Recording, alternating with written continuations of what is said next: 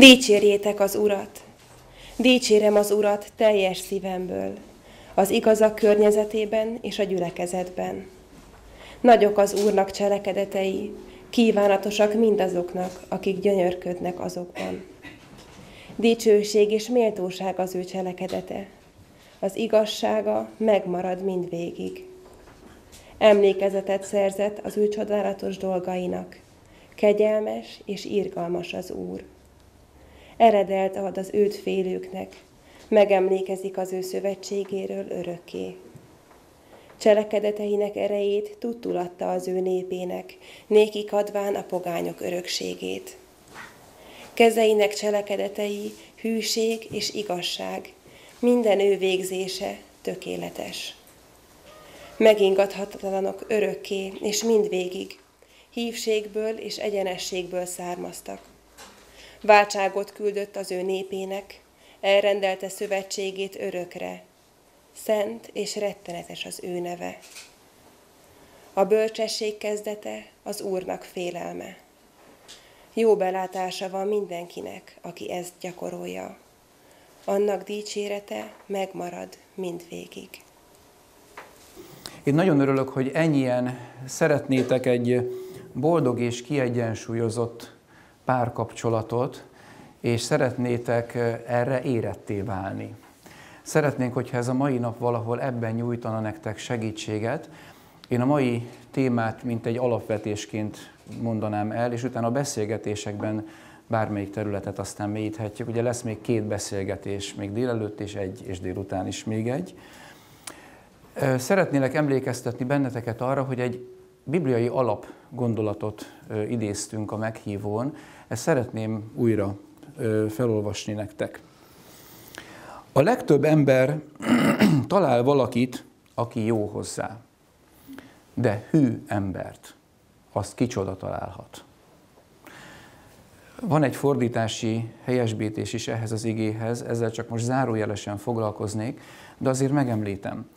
Van egy másik fordítás, amelyik úgy adja vissza, hogy a legtöbb ember állítja magáról, hogy ő jó, de hű embert, azt kicsoda találhat.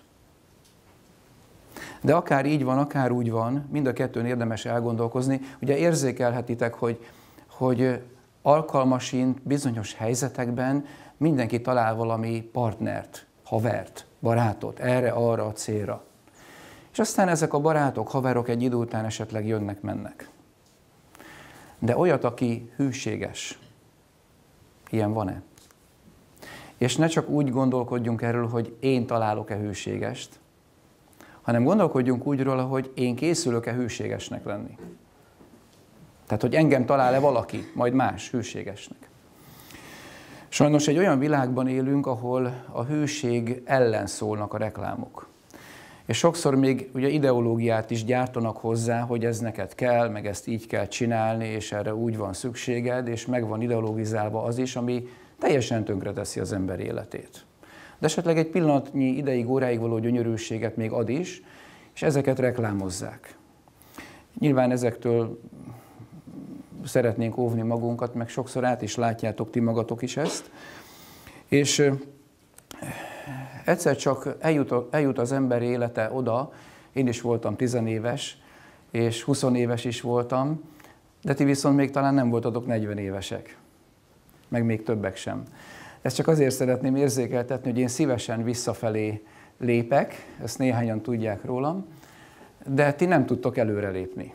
De ne is akarjatok olyan gyorsan. Viszont engedjétek meg, hogy az a fajta tapasztalat, vagy esetleg bukások utáni tanulság, vagy az a fajta életbölcsesség, ami adódik már egy néhány évtizeddel többet megélt ember életéből, az hasson rátok.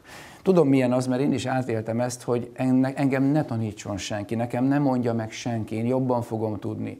Ők már begyepesedett öregek, ők is elrontották, hagyjan engem békén. Tehát vannak ezek az érzések, amik keverednek. De bízom benne, hogy a mai nap egy kicsit ez kiegyenesedik majd. Szeretnék visszautalni oda, hogy, hogy ismeritek tehát ezt az érzést, hogy nem jó egyedül lenni.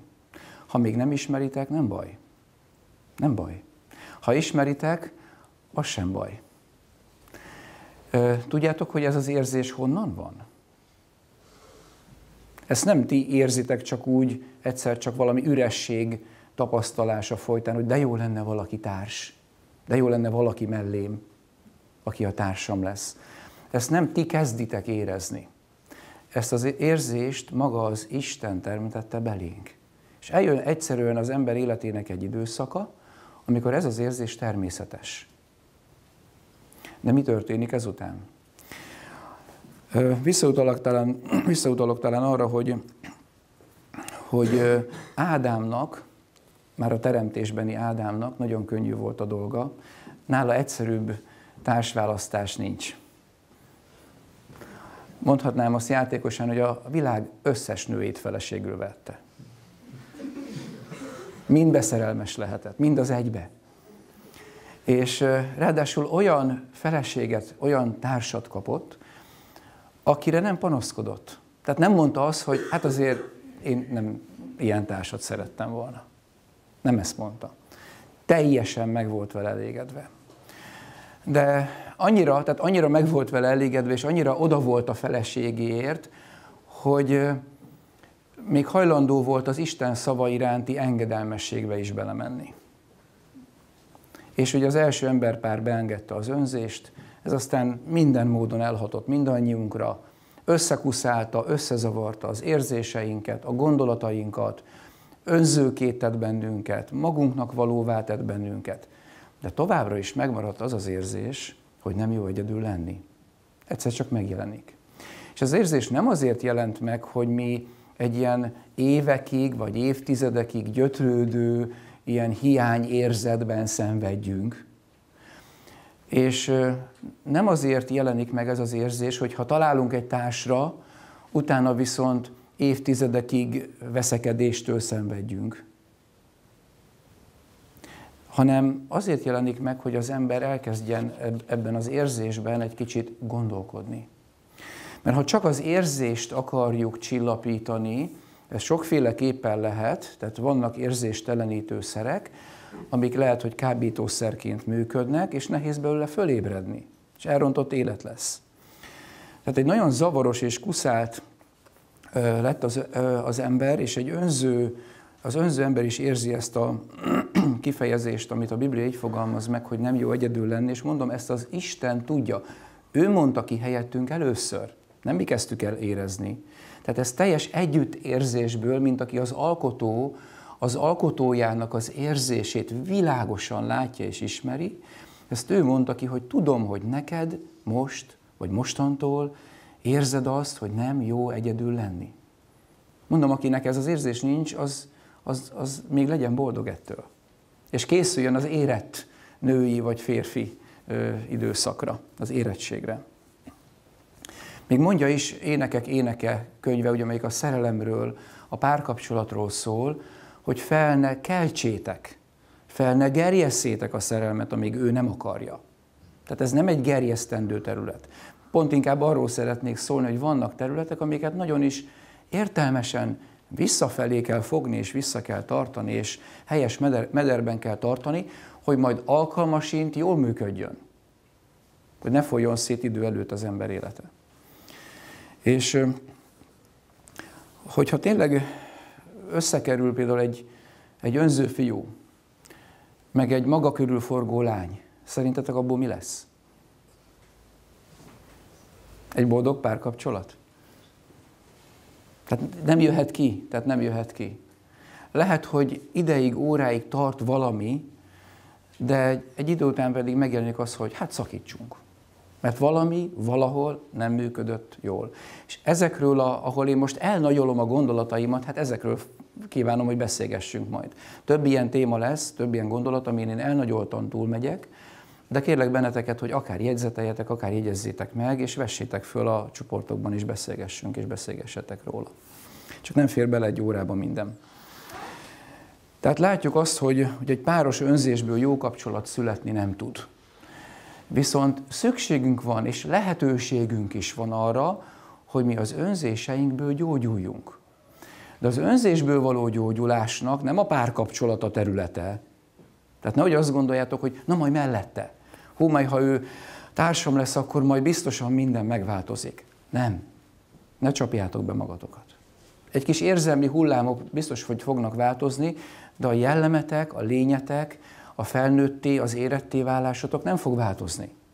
Ez nem a másiktól fog függni, hanem attól az alkotótól, aki bennünket formált, aki, aki tudja a mi, a mi hibáinkat, aki tud a hibáinkból gyógyítani, mondhatnám azt, hogy aki az életét adta értünk és értetek.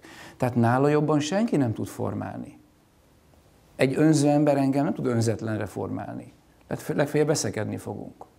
De van valaki, aki tud formálni. Tőle meg érdemes tanulni. És ez az érettségnek egy nagyon szép része. Mondanám azt is, itt nem csak zárójelet érzek, de nem igazán zárójelet akarok mondani, hanem inkább kiáltani szeretnék, hogy ha tehetitek, először ne emberrel kössetek szövetséget, hanem azzal a valakivel, aki tud nektek, tud nektek úgy segíteni, ahogy Ádám kapta az ő feleségét Évát, és teljesen boldog volt vele. Tökéletesen boldog. Hiba nem volt a kapcsolatukban. Egészen ameddig nem lett hiba a kapcsolatukban. És érdemes tehát először is méltó azzal a valakivel szövetséget kötni. Tehát aki, aki tudja a mi formáltatásunkat, ismeri a mi érzéseinket, küzdelmeinket, aki előtt kiönthetjük a szíveinket úgy, ahogy senki más előtt. Még egy beszélgetésben is. Hát nyilván azért is kértük ezt, hogy, hogy küldjetek kérdéseket már papíron. Mert vannak kérdések, amiket, amiket nem merek kimondani. Hát tudom, miről beszélek. Én is voltam ugyanebben az életszakaszban, bármelyikünk volt. Tudjuk, hogy milyen az, amikor magamba zártan küzdök érzéssel, vívódással, hormonműködéssel és egy csomó dologgal. És nem merem elmondani szüleimnek se, barátaimnak se, senkinek, ott tartom magamban. Hát írjuk le és beszéljünk róla. Tehát erről szólna, hogy tabuk nélkül. Valahogy jöjjön ki, és nem fogjuk tudni, hogy kinek szól a kérdés, de bátorítok mindenkit, hogy ha van most is kérdés bennetek, bármikor még leírhatjátok, mert, mert egy kérdés sokaknak segíthet, hogyha persze válasz is kerül rá. Folytatnám talán tovább. Meg tudnátok tölteni tartalommal azt a szót, hogy segítőtárs? Ha adnék most nektek papírt, és fölé, fölé írnánk a tetejére, a laptetejére írnánk, hogy segítőtárs, írj róla valamit. Nem tudom, hogy mit írnátok rá, hogy mi az, hogy segítőtárs. Az miből áll. Erre sincs most időm, hogy hosszan kifejtsem, de szokták mondani a fiúk is, szokták mondani a lányok is, hogy nekem egy ilyen csaj kell, meg egy ilyen pasi kell. Tehát, hogy szokták ezt úgy kifejezni, és van egy elképzelés róla, hogy nekem mi kell a másikból, és milyen legyen. Tudom, miről beszélek most is. De mindenkinek van egy elképzelése. Látok valakit, és, és lehet, hogy még éretlenül is, vagy, vagy szeretetlenül is, még önző módon is találok egy olyan kapcsolatot, amiből egy ideig a másik jó hozzá, meg én is jó vagyok hozzá. De nem biztos, hogy a hűség az meg tud maradni. Nem lesz ereje, nem lesz, nem lesz benne összetartó, összekovácsoló erő. Nagyon sok éretlen kapcsolatból távoznak a fiatalok sebekkel, meg, meg rossz emlékekkel. És aztán sokszor ezt úgy próbálják olyan nagyon vidáman valami tapasztalattá formálni, hogy, hogy nekik már mennyi tapasztalatuk van, de közben csak sebet ejtettek a saját lelkükön, meg a másikon. Nem tapasztalatot szereztek, hanem bajt okoztak. Csak a bajt hát átformáltuk, hogy tapasztalatnak hívjuk. Ne tegyük. Ne tegyük. A baj az baj, a tapasztalat az tapasztalat. Lehet tapasztalatot is szerezni. De mindjárt szólok röviden arról, hogy hogyan, amikor nem ejtünk sebet. Szeretnék legalábbis néhány rövid gondolatot szólni erről. Hogyha ha érett vagy, akkor, és nem csupán testileg, nem hormonálisan, hanem érzelmileg, gondolkodásodban, a személyiségedben, és azt meg tudod várni türelmesen, hogy tényleg egy érett felnőtté válj, akkor lesz egy jó párkapcsolatod. Ha ezt nem várod le meg, akkor lesz egy jó pár kapcsolatod. Döntsd el, hogy melyiket szeretnéd. De az egyikből boldogan fogsz majd ö, Boldogon fogod megélni, a másikat meg boldogtalanul fogjátok megélni. És tehát hogyan készülsz rá, hogy te, nem a másik, hanem te, hogy segítőtárs legyél. Erre hogy kell készülni? Nem úgy, hogy legyen valaki, akitbe borzasztóan szerelmes vagyok, hanem úgy kezdődik a segítő társállevés, hogy otthon. Otthon.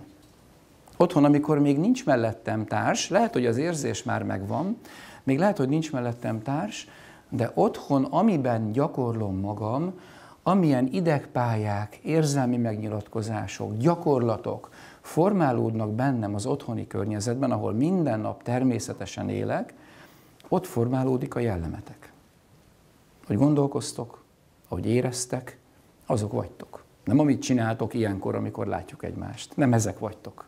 Azok vagytok, amilyenek az érzéseitek és a gondolataitok otthon. Azt gondold végig, olyan leszel. Vagy ha most megijedsz ettől, hogy olyan leszel, akkor ott a lehetőség, hogy, hogy akkor viszont változzunk. Mert nem olyan akarok lenni, amilyen most eddig voltam, mert látom, hogy hol a hibám. Akkor viszont ott a változás lehetősége, amiről szóltam, hogy van, aki ebben segít, sőt segíteni akar. Jobban akar segíteni, mint hogy mi akarunk segítséget kérni. Tehát maga a teremtőnk. És lehet, hogy valaki segítőtársá érett. Tehát már az tudja, hogy mit jelent. Segítőkész, önzetlen, odafigyelő, akire lehet számítani otthon is, amikor úgy olyan megelégedett mellett a, a másik ember, és még nem a társa, nem a leendő társa, nem a szerelme, nem, hanem otthon, akivel természetesen együtt élek.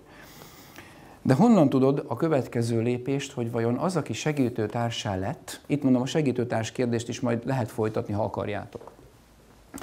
De a következő lépés pedig az, hogy honnan tudod, hogy amikor valaki más segítőtársként érett, és keresés folyamán valakit talál, akkor ő hozzám illő-e? Ez a következő nagy kérdés. Ki a hozzám illő? Ő, vagy ő, vagy ő, vagy ő, vagy ő, vagy kicsoda? Ki a hozzám illő? Hogyan tudunk erről ö, gondolkodni? Ö, ennek van egy nagyon-nagyon egyszerű ö, próbája. Az, hogy a másik hogyan bánik otthon a szüleivel, ha nem élnek a szülei, akkor azokkal, akivel a legtermészetesebb módon ő együtt él. Hogy bánik az otthoniakkal? Akiben nem szerelmes, akihez nem fűzik gyengéd érzelmi vágyakozó szálak. Na egy ilyen emberrel, ahogy bánsz, törvényszerűen olyan leszel a társaddal. És akik, figyelitek, hogy akibe már valami társ lehetőséget láttok, ezt figyeljétek meg. Hogy vajon ő otthon, vagy más környezetben, akiket nem szeret, na azokkal hogy bánik. Mert olyan lesz veletek. Nem föltétlen kellenek így maradnia, de törvényszerűségek azok működnek. Mindenkinél. Nincs kivétel. Tehát, hogyha ezt a papírt én most elengedem, akkor nem fog kimenni az ablakon. Hanem tudjátok, hogy mi fog vele történni. Ezek ilyen törvényszerűségek. És ezeket érdemes, ez az érettség, amikor látom, hogy mi hogy működik az életben, és figyelembe veszem, és élek vele, és boldogan akarok vele élni. Szeretnélek nyomatékosan kérni benneteket arra, hogy kapcsoljátok ki a bennetek lévő vetítőgépet. Nem tudom, értitek-e, hogy most mire gondolok. Kapcsoljátok ki a bennetek lévő vetítőgépet. Mindenkibe van vetítőgép. De arra is kérlek benneteket, hogy kapcsoljátok ki a számítógépnek a szexuálisan manipuláló részleteit. Mert az is tönkretesz. Mind a kettő tönkretesz. Így vagy úgy. Valahogy tönkretesz. Mert olyan ö, ö, agybani folyamatokat indít el, ami miatt nem fog működni jól a házasság. Vagy lelkileg, vagy testileg. Mert az agyat átprogramozza. Erről is lehet még beszélgetni, sőt kell is beszélgetni róla.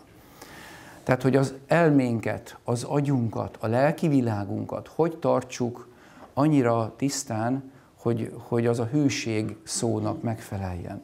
Hogy aztán majd amire igazán vágyik az ember lelkestül, testestül, vagy testestül, lelkestül, az aztán jól működjön. És ne menjen tönkre idő előtt. Mert az, a tönkremenetel az idegpályákon kezdődik el. És a benned lévő vetítőgépről talán még egy szót hadd mondjak. Ugye nagyon sokszor az történik meg, hogy valaki összeismerkedik a másikkal, és ugye tart egy néhány óráig egy-egy találkozás, egy-egy beszélgetés, hazamegyünk, és akkor természetes dolog, hogy egy, ugye ott marad a másik arca, képe, az emlékek, és nekiállunk álmodozni. És rávetítünk, hogy ő ilyen, és ő olyan, és őt ezért szeretem, és ő az, és ő, ah, és élek, és lelkesedek, és fantasztikus, és amikor mesélem a másiknak, hogy te ilyen, és kapcsolt ki a vetítőgépet. Nem biztos, hogy olyan. Nem biztos, hogy olyan. Ne álmodozz.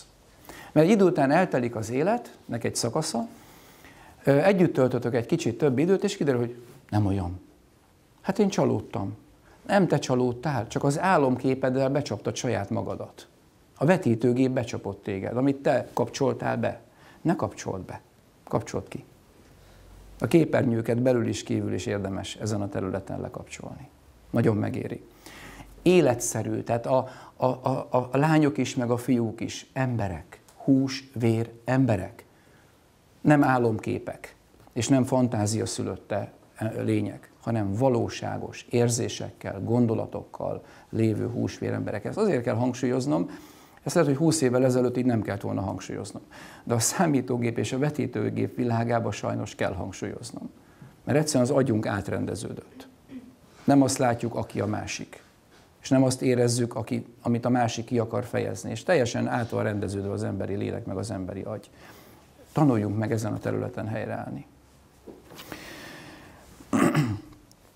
Tehát előbb ismerd meg azt, hogy a másik hozzád illő-e.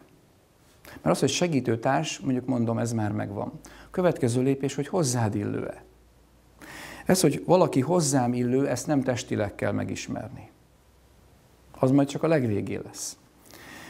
Ez olyan, mintha valaki testileg kezdi megismerni a másikat, és ez a legelső próbája a hozzám ez olyan, mint amikor valaki a repülőgépből ejtőernyő nélkül kiugrik. Fantasztikus élmény a földet érésig. De csak addig. Ugye tudom érzékeltetni, hogy mi történik. Tehát azért jó dolog zuhanni egy kis ideig, de nem sokáig tart. Aztán van kemény földetérés. És a kétes a kimenetele, hogy életben marad-e valamelyik. Érzelmileg, mentálisan, bárhogy. És hogy lehet megismerni a másikat, ha nem itt kezdjük? Hát beszélgess vele, nem tudom, hogy tudtok-e beszélgetni. Bízom benne, hogy igen. Ez egy olyan egyszerű dolog, hogy, hogy én is mosolygok magamon, hogy miket tanácsolok nektek, de tanuljatok meg beszélgetni. Mert nem beszélni, mi van veled? Hogy vagy? Jó volt? Nem. Tehát nem, tehát nem ilyen kétszavas, meg nem a műszaki dolgokról, meg, tehát nem arról, a, a, amikor tényleg az érzéseidet és a gondolataidat fejezel ki, amikor az életedről tudsz beszélgetni, amikor tudsz érdeklődni a másik felől, amikor van gondolatod, hogy egy beszélgetés miből áll. Tehát sokszor, amikor ezt, erre is adnék nektek egy papírt, írjuk fel, hogy beszélgetés. Írjátok le, hogy mit, értek, mit értetek ti ezen, hogy beszélgetés. Miről szól a beszélgetés? Miről lehet beszélgetni? És közben a beszélgetés során mi derül ki? Hát kiderül a másiknak a lénye, gondolkodása. Ö, és beszélgetés közben külön hangsúlyozom, kérlek benneteket, semmibe ne éljétek bele magatokat. Nem azért beszélget veletek a másik, mert már rögtön szerelmes, hanem mert beszélget. A beszélgetés az beszélgetés.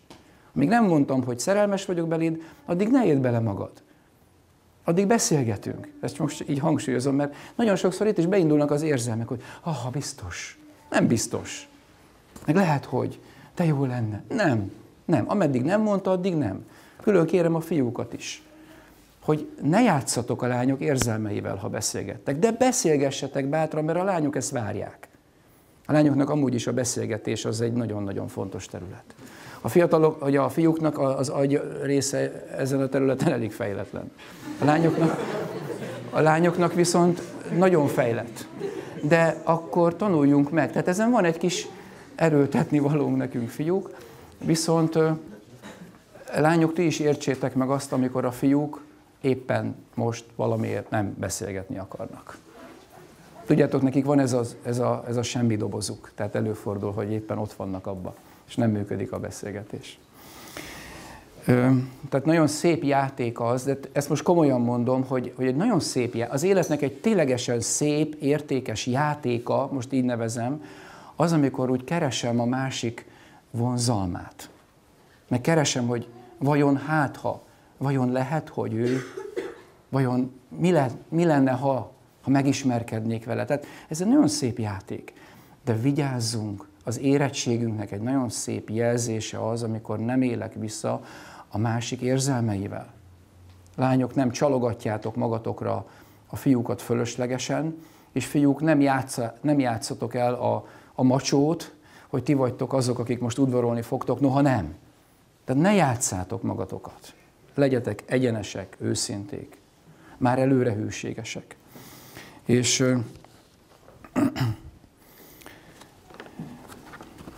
és külön, külön ha hangsúlyozom talán az, hogy ha nem tudsz a másikkal fesztelenül, feszültségek nélkül beszélgetni, úgy, úgy jól esően mindenről beszélgetni, akkor valószínű, hogy nem ő az igazi, hogyha ez nem megy.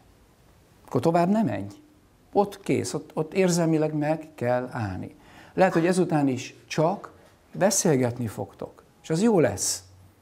De az nem szerelem. Az értelmes, normális, emberi kapcsolat. És ne érd bele magad semmibe, ha valaki beszélget veled. De beszélgessetek. Tanuljunk meg. Beszélgetve nagyon sok minden kiderül. Ha kérdezünk, ha válaszolunk, ha kifejezzük magunkat. Viszont kiderül az is, hogy ahogy énekek énekel fogalmaz, szintén visszatolok egy kifejezésére, akit az én lelkem szeret.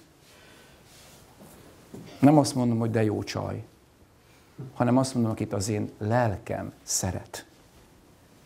Ezt csak beszélgetésben lehet kideríteni, hogy a lelkem szereti-e a másik lelkét. Nem működik másképp. És lányok, ne csak megszólalásig legyetek szépek. Meg fiúk, erre figyeljetek. Ez egy kicsit lányoknak szóló rövid üzenet volt lehessen beszélgetni. A beszélgetésben, mondom, amúgy is a lányok a fejlettebbek. Tehát én tudom, milyen az, amikor én is annak idén nekiálltam valakivel beszélgetni, és így, így, tehát így elolvattam, mert tönkrementem, és nem tudtam megnyilatkozni, mert zavartak az, a saját érzelmeim, és zavarba voltam. Mondom, inkább akkor csak nézegetem, mert akkor nem jövök zavarba. Tehát, ilyen, tehát vannak ilyen időszakok, hát, tehát ez mindenkinek ismerős. Aztán van, amikor meg nem törődök semmivel, és jövök, mint az úthenger, és a másiknak az érzelmét már össze-vissza kuszáltam, és nem érdekel, mert örülök neki, hogy én vagyok a sikertörténet. Ez meg a másik véglet. Tehát mind a kettőtől a jó Isten óvjon bennünket. De hát a világ meg ezt diktálja. De hát nem tudom, hogy melyik értékrend szerint szeretnétek. Tehát első látásra lehet, hogy valaki a másikban nem szerelmes. És kiderül, hogy egy beszélgetés nyomán megindul valami. Volt már ilyen, nem kevésszer. Mert kiderül, hogy a lelkem a lelkéhez közelebb kerül, és majdnem azt mondanám, hogy a fizikai fiúknak, a fizikai szemlátása, de a lányoknak is üzenem ezt, sokszor változik mintha kicserélnék egy kicsit a szemünknek, szemünket, szépül a másik. A lelke miatt. Ez nem vicc. Ez most nem egy ilyen prédikációs betét, amit nekem el kell mondanom. Ez valóság.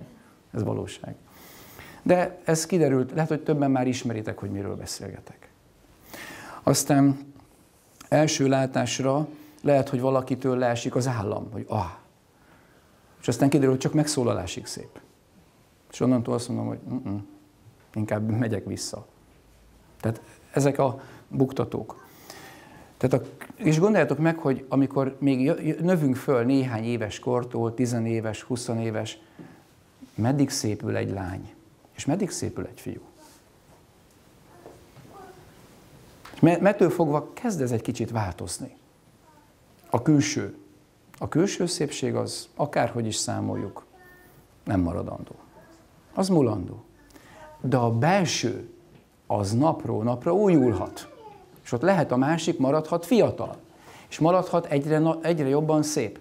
Van egy ismerősöm, aki, aki egy ismert, én is ismertem ezt a, egy nénit, aki 80 éves volt.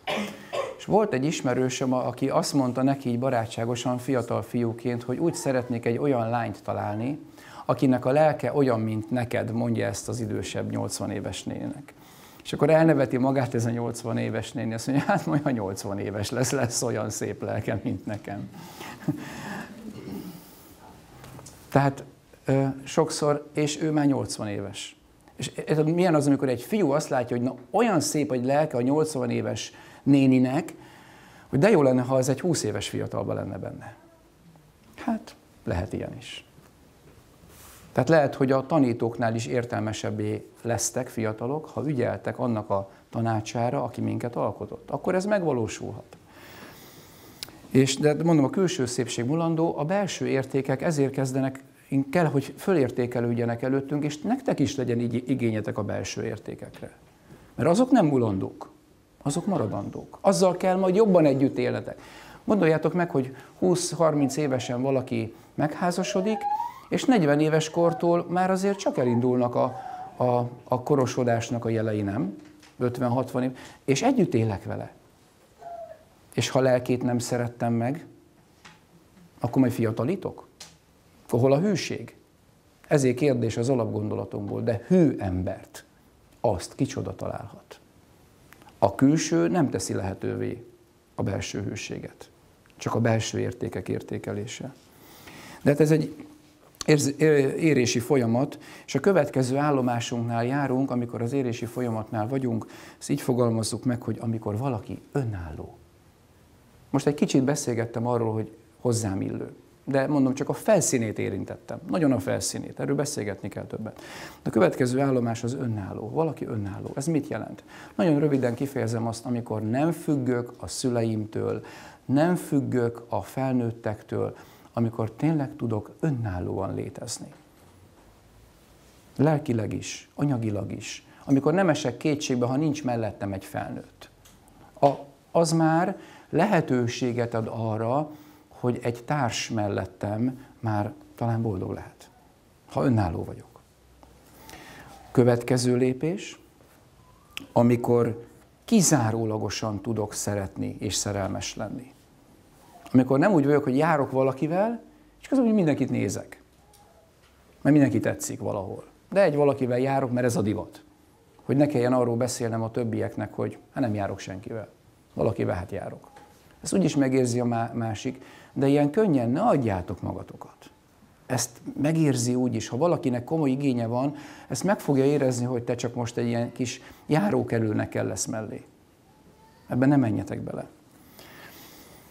És ebb, ezt úgy, le, úgy fogalmazza meg a Biblia, hogy ragaszkodik, amikor kizárólagosan szeretem a másikat. Ránézve gondolkodok, és értékelek szinte már mindenki mást, már így az emberi kapcsolatok terén. Fiúk, nektek üzenem, ahogy Jobb könyvében olvassuk, olvassuk, hogy amikor megszületik bennetek szinte természetesen is az a gondolat, vagy az az érzés, hogy kimeritek mondani, hogy szövetséget kötök a szemeimmel, hogy a többi lányra nem ügyelek. Amikor annyira kizárólagosan találtam valakit, hogy a többi az teljesen elhomályosul. Az a többi, többi fa az almafák között, vagy a liliomhoz képest a, a, az összes többi valami más értéktelen növény.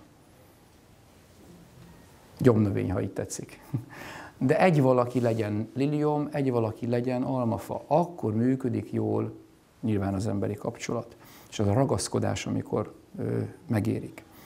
Amikor az ember ki fölvállalja, hogy most nyugodtan szövetséget kötök a szemeimmel, nincs tovább kereső lelki állapotom, megvan, itt az igazi.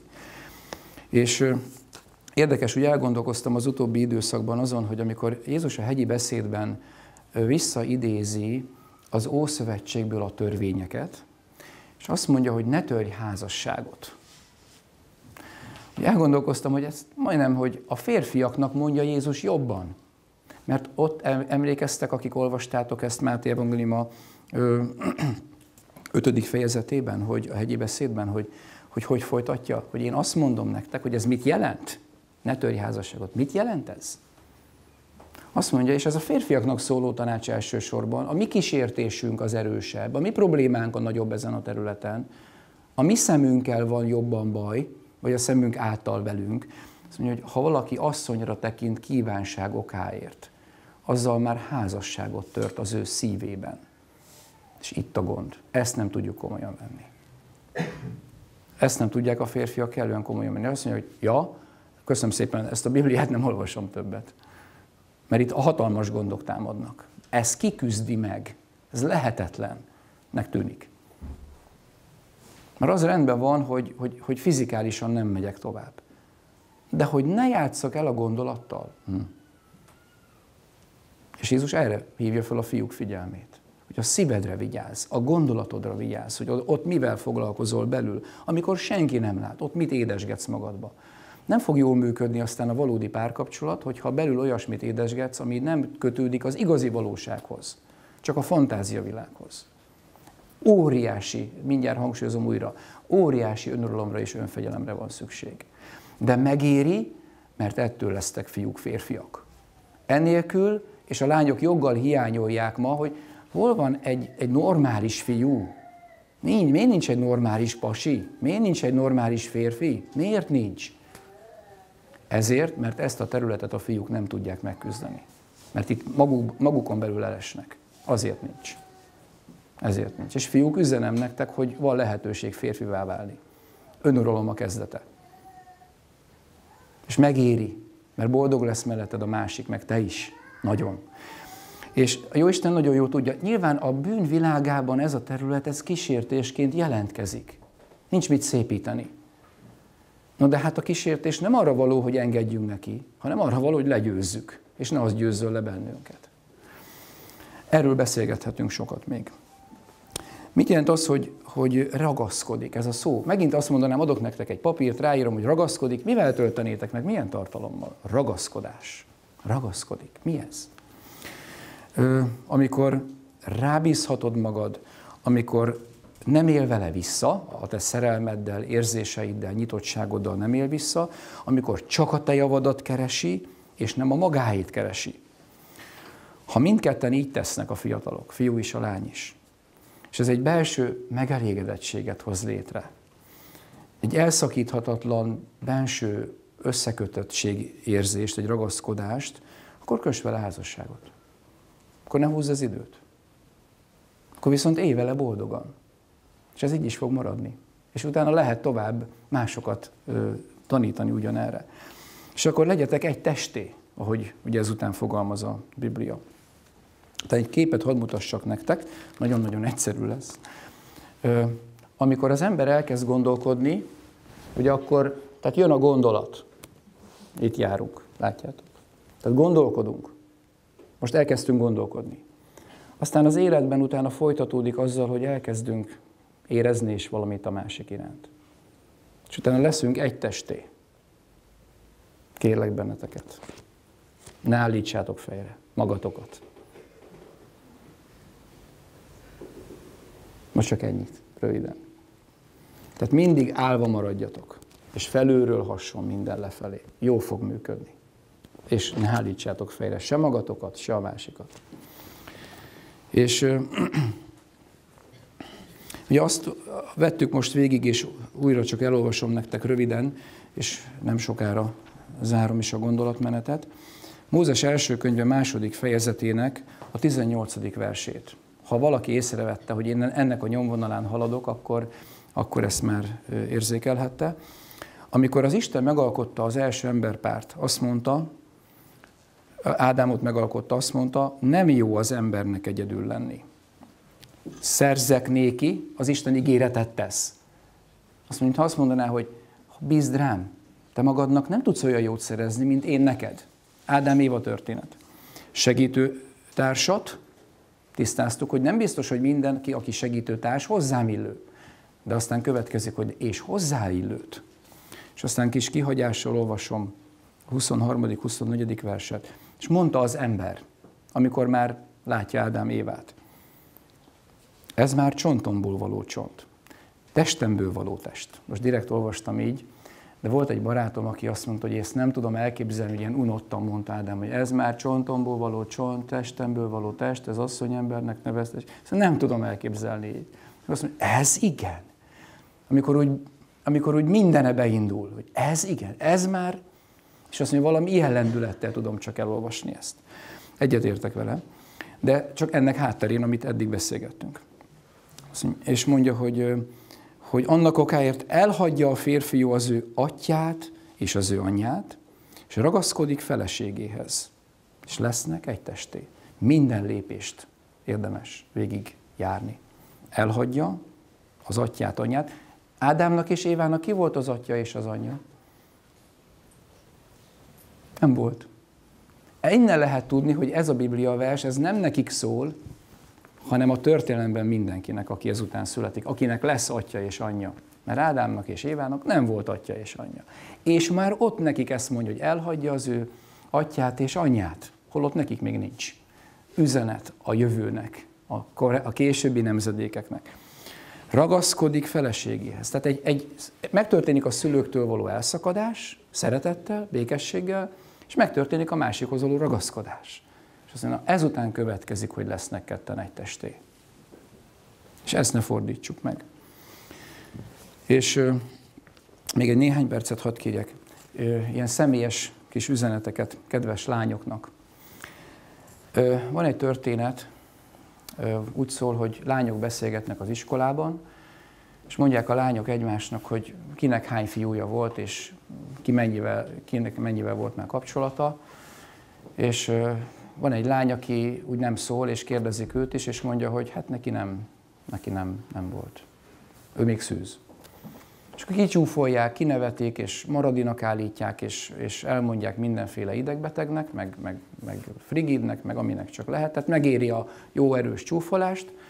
És akkor ez a lány annyit mond, hogy tudjátok, én olyan, mint ti vagytok, bármikor lehetek. De ti, olyanok, mint én, már soha.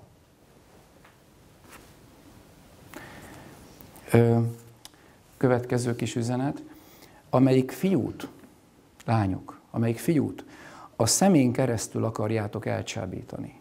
Ne várjátok tőle, hogy hűséges maradjon hozzátok. Csak azt találjátok, amit az alapgondolat is mondott, hogy csak találtok egy időre valakit, aki éppen jó hozzátok. De nem hűséget fogtok találni. Ezt el lehet érni bármiféle külső rafinériával. Most itt nem akarom behelyettesíteni semmit, ezt szerintem mindenki érti. Tehát, ö, tudom, hogy a lányokban viszont zsigeri késztetés, hogy szépek akarjanak lenni. Legyetek is. De leginkább annak tartogassátok az igazi szépségeteket, akiről tudjátok, hogy hozzátok hűséges. Lányok, ami nem eladó, azt ne áruld. Ami nem eladó, azt ne áruljátok. Mert lecsapnak rá. És bajba kerültök a, a, a fiúk miatt. Mert a fiúk is ö, esetleg zavarba jönnek, vagy zavarba hoznak benneteket. Ne hozzátok őket zavarba. Kedves fiúk, itt is persze lehetne további kis üzeneteket, de majd beszélgetéskor. A férfias tulajdonságnak már érzékelitek az alapját, és ez így kezdődik, hogy önuralom. Önuralom. Ö, nem csak a harag felett gondoltam. Nem csak a harag felett, nem csak a lelki indulatok felett, hanem a hormonok felett. De higgyétek el, hogy nem lesztek se betegek, se nem fogtok meghalni, hogy az önuralmat megtanuljátok. Csak sok fiú így érzi hogy kikészül, hogyha valami nem történik vele. Nem, sebek nem lesztek, se meg nem haltok, ha kipróbáljátok az önuralmat. Majd az természetesen tudja a szervezet a maga programját és, és megnyilatkozásait, mind a fiúknál, mind a lányoknál. Ne keltsétek fel, és ne gerjesszétek, amíg ő nem akarja. Ne. Tehát ezt maga énekek, énekek, énekek mondja, hogy ne. De lesz olyan terület, tehát ez az, nem tudom, hogy hány évig tart, az, amikor egyszer csak ott áll előtted az, akivel nem lehetsz ennélkül igazán boldog, ennélkül az önuralom nélkül. És utána nem úgy lesz, hogy hm, kiégtem, elmúlt, nem működik, elfáradtam. Megéri.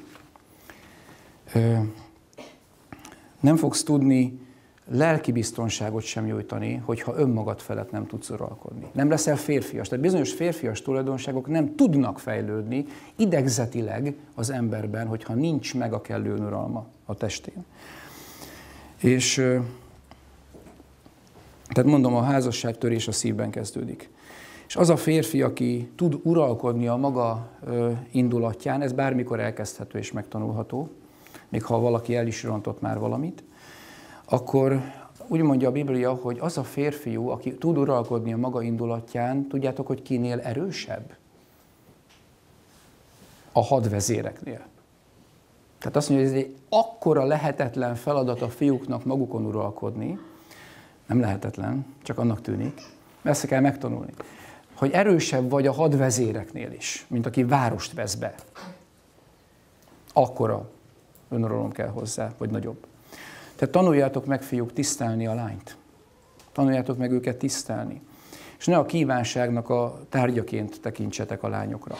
És ne így kezeljétek őket, ne ennek megfelelően. És ne, játsz, ne játszatok az érzéseikkel.